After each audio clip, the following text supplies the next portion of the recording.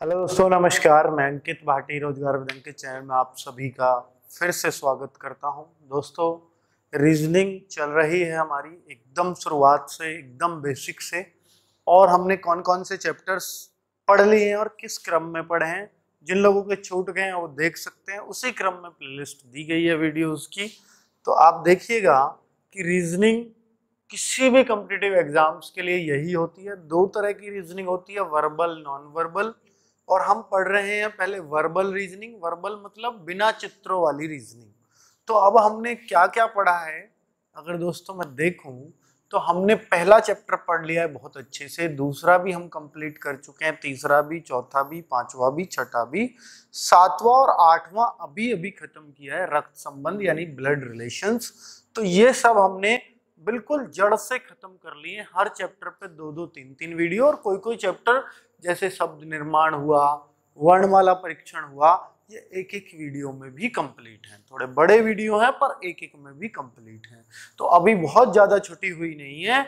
इसके बाद मैं आपको दिखा दूँ कि अभी बहुत सारे चैप्टर्स बाकी हैं। अभी सिर्फ़ आठ चैप्टर हुए हैं, जो रीजनिंग सीखने के इच्छुक हैं, वो भी जुड़ सकते हैं। छब्बीस चैप्टर हम पढ़ेंगे किसमें? वर्बल रीजनिंग में। उसके बाद फिर नॉन वर्बल यानी चित्रों वाली रीजनिंग शुरू होगी, जिसमें आप बहुत कंफर्टेबल शायद अभी ना हो, इसको पढ़ने के बाद बहुत कंफर्टेबल फील करोगे।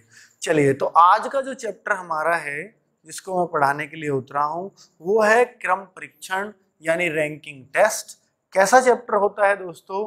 अगर मैं आपसे बेसिक बात करूँ तो यही होता है कि राम बाएँ से बीसवें पर या ऊपर से पंद्रहवें पर या दाएँ से पच्चीसवें पर वो दो स्थान इधर, दो स्थान, चार स्थान उधर, उसकी जगह बदल लेगा, कभी कुछ कर लेगा, कभी कुछ कर लेगा। ठीक है? तो पंक्ति में हमें टोटल गिनवाएगा या उसका नया स्थान पूछेगा, इस तरीके से करता है। तो इनको मैं बहुत ज़बरदस्त तरीके से और बिना कोई ट्रिक और फॉर्मूला यूज़ किए करूँगा। अब तक जितनी भी ट्रिक भरी हो आपके दिमाग में, चाहे तो निकाल दो, एक भी काम की नहीं है। ठीक है? अगर आप तरीके से सीखते हैं आप कभी भूलते भी नहीं है और ना आपको बार बार प्रैक्टिस की ज़रूरत पड़ती है। आप कभी भी कॉन्सेप्ट लगाओ, आपका सवाल बिल्कुल खल्लास। चलिए verbal reasoning chapter nine ranking test शुरुआत कर रहा हूँ। पहले क्वेश्चन की और पहला क्वेश्चन आपकी स्क्रीन पर ये रहा। चलिए, ठीक है साइड कर देते हैं ताकि हमें भी जगह मिल जाए, कुछ क्वेश्चन सॉल्व करने दिख रहा होगा सबको? बिल्कुल दिख रहा होगा। चलिए भाई। तो रमन कक्षा एक्स का विद्यार्थी है। कक्षा एक्स की हमें कोई ज़रूरत नहीं है। एक्स की जगह वाई ले ले या कुछ ले ले फालतू की चीज़ें। अब पढ़ते हैं काम की चीज़।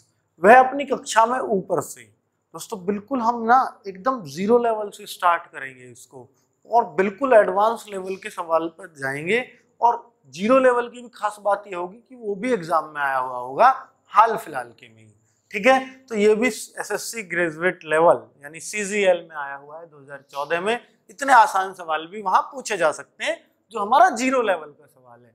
तो दोस्तों देखिएगा, वह अपनी कक्षा में ऊपर से सोलवे तो जब भी ऊपर नीचे की बात होगी तो आप ऐसे बस एक पंक्ति खींच देना और इसको ऊपर लिखना है तो लिख दो, नहीं तो पता है ये ऊपर है और ये नीचे है। ठीक है? बस ऐसे आपको लिखना है। और बिल्कुल दिमाग में बिठा के चलना है कि जैसे हम पंक्ति में ही खड़े हैं और खड़े आप नहीं खड़े हो तो सोचो कोई लाइन खड़ी है बच्चों की, ठीक है? तो उस तरीके से है। तो अब उसने बोला कि रमन का नाम लिया है। रमन ऊपर से सोलवे पर, अब ऊपर से मैं गिनना शुरू करता हूँ और डंडे खींचने का मेरे पास टाइम नहीं है। One, two, three, four, five, six, seven, eight, nine, ten, eleven तो आप सोचिएगा ऐसे बच्चे खड़े हुए हैं तो ये सिक्सटीन नंबर पर कहीं भी आएगा लाइन में। और मैंने तीर भी लगा दिया कहाँ से? ऊपर से। तो मैंने तीर लगा दिया और इधर नाम भी लिख दिया ताकि मुझे अब सवाल दोबारा ना पढ़ना पड़े। ठीक है? बिल्कुल ऐसे ही सीखना। और आपको लगेगा कि इससे तो कोई भी सवाल बहुत आसानी से हो जाएगा। ठीक है? तो रमन ऊपर से सोलवे और नीचे से उड़चासवे स्थान पर है। अब देखिए दोस्तों, नीचे से उड़चासवे अब देखिए उड़चासवे नीचे से। बहुत बढ़िया। अब देखिए, लाइन में ऐसे गिनता आ रहा हूँ, गिनता आ रहा हूँ, गिनता आ रहा हूँ, उनचास यहाँ बैठ गए। और इसका नाम क्या था? नाम था कि भाई इसका क्या नाम लिया उसने? तथा नीचे से सॉरी यही आदमी है रमन ही। मैं दूसरा आदमी बना रहा हूँ, ये गलत कर रहा हूँ, आपके साथ और इसके साथ भी। उसने बोला है कि रमन ऊपर से सोलवे पर और रमन ही नीचे से उड़चासवे पर है। अब देखिए, नीचे से उड़चासवे पर। यही स्थान आपको दोनों तरफ़ से पता लग गई है। एक ही स्थान दोनों तरफ़ से पता लग चुकी है आपको। ऊपर से भी ये पता है और नीचे से भी पता है। अगर मैं नीचे गिनू तो ऐसे गिनता हुआ आऊँगा, उनचास बैठेगा। ऊपर से गिनता हुआ आऊँ तो यहाँ सोलह बैठेगा। ठीक है? तो फिर मैं क्या करूँ? मैं क्या करूँ? कि भाई ऐसे करता हूँ, जब ये ऊपर से गिनता हुआ आ रहा होगा, एक, दो, तीन, चार, पाँच, छह, चौदह, पंद्रह पंद्रह, इसने यहाँ तक गिन लिए होंगे। तो तभी तो ये सोलवा बैठाया होगा। तो मैं ये कह दूँ कि इससे ऊपर, रमन से ऊपर पंद्रह लोग हैं। तो ऐसे में कह दूँ तो कोई बुराई नहीं है, बिल्कुल बुराई नहीं है जी। ठीक है? अगर मैं नीचे से इसको गिनता हुआ हूँ तो ये उड़चासवा है। तो मैं ये कह दूँ कि ये अड़तालीसवा होगा नीचे से। मतलब इसके नीचे अड़तालीस लोग होंगे। भाई, जब ये उनचासवा है नीचे से तो एक, दो, तीन, चार, पाँच, छह ऐसे करूँगा तो अड़तालीस यहाँ बैठेगा उनचासवा ये हो जाएगा। तो अड़तालीस लोग बैठ जाएँगे इसके नीचे नीचे। अब आपने देखा, मान लो मैं ही रमन हूँ, या आप ही रमन हो तो आपसे ऊपर पंद्रह लोग, आपसे नीचे अड़तालीस लोग। देखो, पंक्ति में टोटल पूछे, आपसे नीचे अड़तालीस, आपसे ऊपर पंद्रह और एक आप खुद रमन हो तो रमन भी तो जोड़ना पड़ेगा। ऊपर नीचे के तो जोड़ लिए। भाई, मुझसे इधर अड़तालीस, मुझसे इधर पंद्रह तो मुझे तो कहा जोड़ा अभी आपने? इधर उधर के ही तो जोड़े हैं तो रमन के लिए भी जोड़ना पड़ेगा। तो ये तो रहा बिल्कुल आपका कॉन्सेप्ट 64 आपका आंसर सही है? बिल्कुल सही है जी। कोई बुराई नहीं है। अब देखो दोस्तों, एक ट्रिक भी बता दूँ, अगर आपको चाहिए तो। और नहीं चाहिए तो कोई ज़रूरत नहीं है और अच्छी बात रहेगी, नहीं चाहिए तो।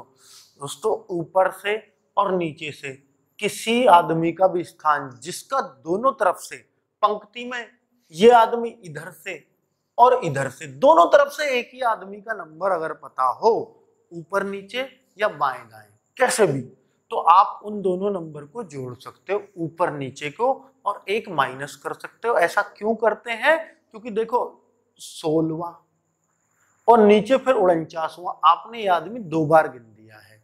तो एक बार तो गिनना था, इसलिए दो नहीं घटाएँगे, एक ही घटाएँगे, क्योंकि एक बार का एक्स्ट्रा जुड़ गया है, उसको माइनस करना होता है। तो इस तरह से चौसठ आपका आ जाएगा।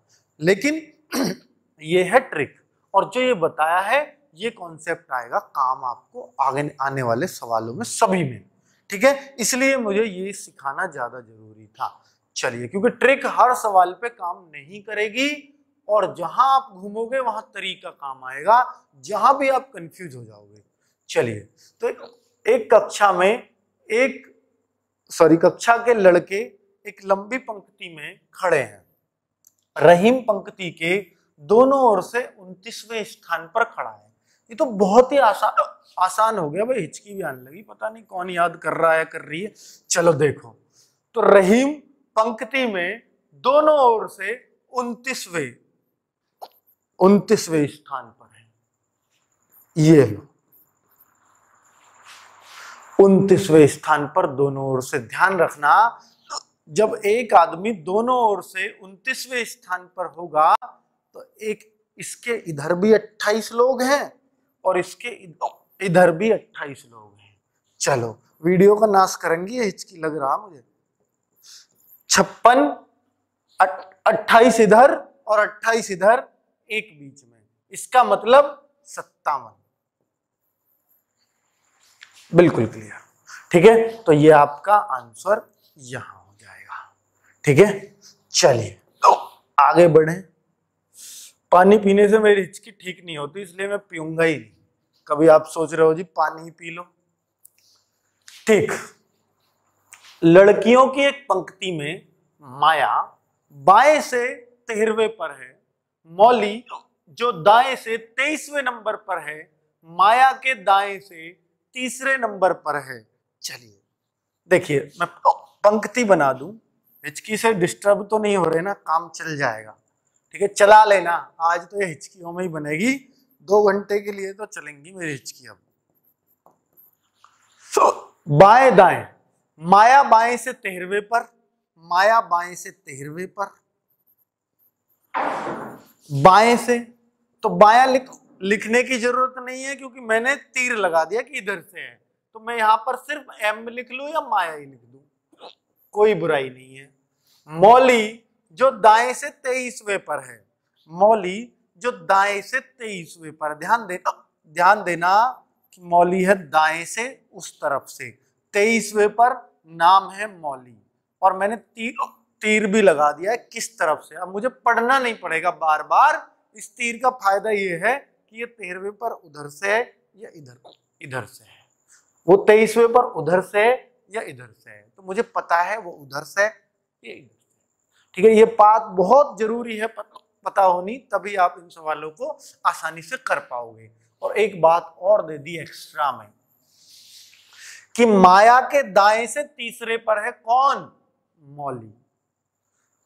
अब माया के दाएँ। अब ध्यान देना आप पंक्ति में उधर मुँह करके बैठ बैठे हो। उधर। तो माया भी उधर बैठी होगी सब लोग उधर मुँह करके बैठे हैं। उधर को। तो माया का दाया हाथ इधर ही पड़ेगा बिल्कुल इधर ही पड़ेगा।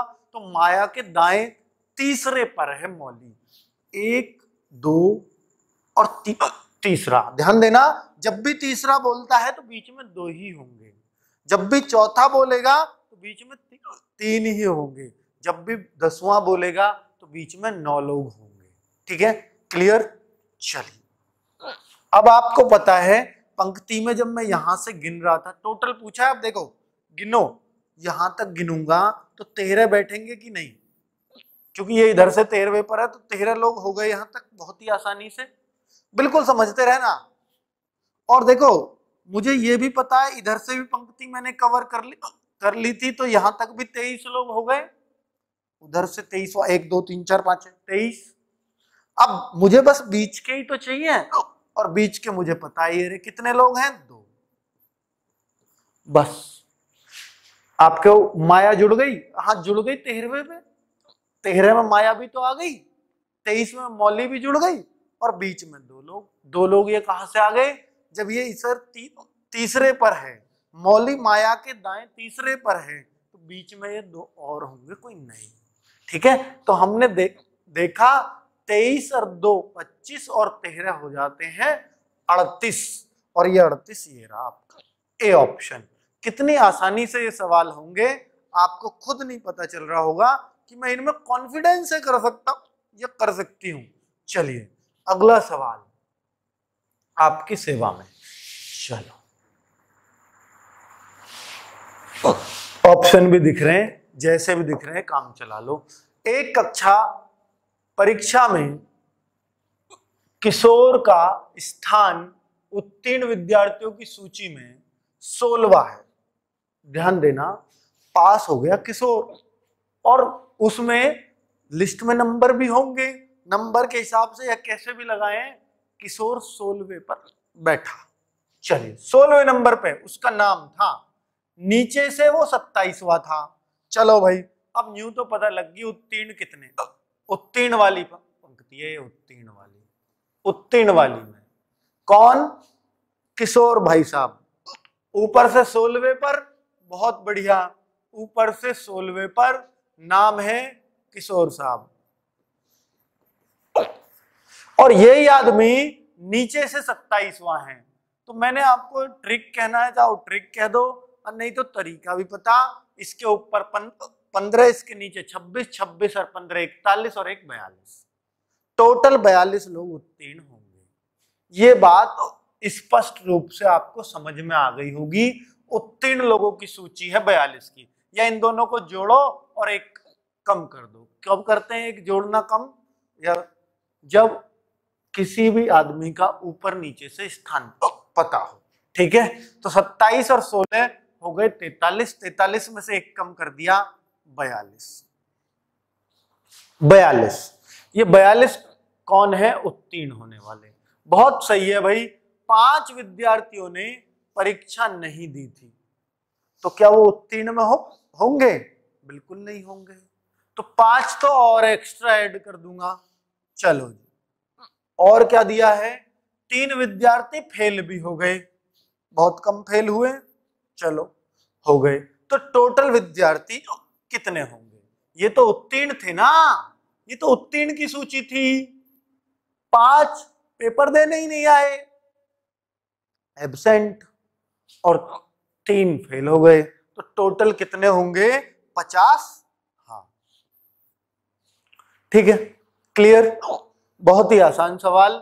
आपको लग रहा होगा कि भाई लैंग्वेज के भी सवाल दे देगा तो कोई बड़ी मुश्किल बा, बात नहीं है। चलो और थोड़ा छोटा कर लूँ ताकि सवाल आपके बोर्ड पर आ जाए। ये लीजिए बिलाल साहब आ गए। बावन बच्चों की एक पंक्ति। आ जाओगे। बावन बच्चों की एक कक्षा में बिलाल का स्थान नीचे से ग्यारहवा। नीचे ऊपर बनाता है तो मैं ऐसे बना देता हूँ। बिलाल नीचे से ग्यारहवा तो बिलाल को यहाँ रख दू। मतलब ले भी हिचकी में पता नहीं कहाँ कहाँ से बन रहा तो ले लो। बिलाल नीचे से ग्यारहवा। सलमान बिलाल से नौ स्थान ऊपर। नौ स्थान ऊपर। अब नौ डंडे खींचने की उम्र थोड़ी है अब नौ कौन खींचेगा? इससे नौ स्थान ऊपर है और यहाँ पर नौ, नौ लिखने की भी ज़रूरत नहीं है कायदे में तो। मैं ऐसे बताता हूँ जब भी नौ स्थान ऊपर की बात होती है तो आप आठ बीच में ले लो। दस स्थान ऊपर की बात हो नौ बीच में ले लो। बीस स्थान ऊपर की बात हो उन्नीस बीच में ले लो। तो इससे नौ नौ स्थान ऊपर कौन है? सलमान। तो अगर आप लिखना ही चाहो सलमान का स्थान तो नीचे से ये ग्यारहवा था और नौ और बढ़ा दो, बीसवा। क्योंकि ग्यारह, आठ, उन्नीस इसके यहाँ तक रह जाएँगे, बीसवा हो जाएगा। नौ बढ़ा दो, ग्यारह में नौ नौ जोड़ दो। जोड़ सकते हैं? हाँ बीच में एक कम रहता ठीक है? तो ये भी नीचे से ही हुआ, बिल्कुल नीचे से ही हुआ। और ऊपर से सलमान का स्थान भी पता, भाई। नीचे से हमें पता थी। हमने पता कर लिया ऊपर से इसने दे दिया, फिर तो टोटल लाने में कोई दिक्कत ही नहीं है। तो सलमान का ऊपर से कौन सा स्थान है? पूछा बावन दे सॉरी टोटल तो उसने पहले ही दे दिया था। तो बावन लोग हैं पंक्ति में, ध्यान देना, बावन। यहाँ से लेके यहाँ तक, लेकिन बीस लोग हैं, यहाँ तक ही सलमान तक। कितने लोग हैं? बीस। तो इसके ऊपर कितने होंगे? तीस। कोई शक किसी को? बिल्कुल नहीं। बीस नहीं सॉरी बत्तीस। बत्तीस और बीस, हो गए बावन? बिल्कुल हो गए। तो ऊपर से जब गिनते आओगे तो इससे ऊपर ही है बत्तीस तो। और बीस इसको मिल, मिला के नीचे से। तो भाई जब मैं गिनता आऊँगा, बत्तीस इसके ऊपर ऊपर है तो इसका नंबर तैतीस हो जाएगा ऊपर से। बहुत ही आसानी से। तो दोस्तों, वीडियो थोड़ी सी छोटी, नहीं, थोड़ा और सवाल कर लेता। घनी छोटी हो जाएगी, नहीं तो। चलो, ये लास्ट कर लेते हैं। हिचकी ज़्यादा डिस्टर्ब कर रही होंगी आपको। मुझे तो नहीं कर रही, खैर मैं तो हिचकियों में भी और पढ़ा दूँगा तुम्हें। चलो। सड़क के किनारे बाढ़ पर 27 बंदर बैठे हैं। बैठ गए। राजू नाम का बंदर दाएँ से ग्यारहवा है। चलो भाई, राजू नाम के बंदर भी होते हैं। तो सड़क के किनारे सड़क ऐसे ही जा रही हमने यूँ ही मान ली। राजू नाम का बंदर दाएँ से सॉरी सड़क ऐसे जब दाएँ बाएँ की बात है तो सड़क को ऐसे मत मानो। कंफ्यूज रहोगे नहीं तो। ऐसे मानो। ठीक है? अब राजू नाम का जो बंदर था, वो दाएँ से ग्यारहवा। अब दाया छोर कौन सा है ये? और ये कौन सा? छोर है बाया।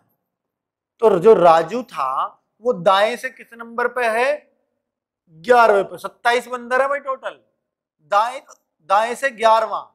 कौन है? राजू। बहुत सही।